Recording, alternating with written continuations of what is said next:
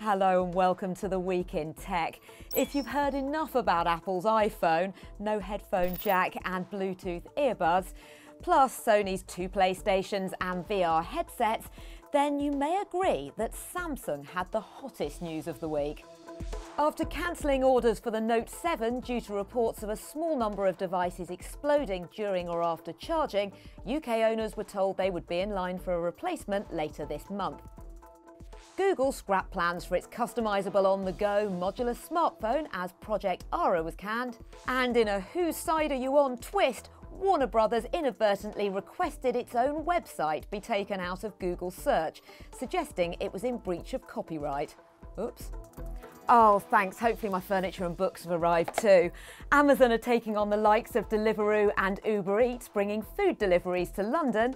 Amazon restaurants will be for Prime users only.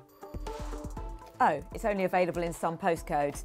And finally, a Pokemon Go player in Russia could face up to five years in jail after filming himself playing the game in a church. Video blogger Ruslan Sokolovsky is reportedly being held in prison charged with mockery of religious beliefs whilst he awaits trial. He's appealing against the charges.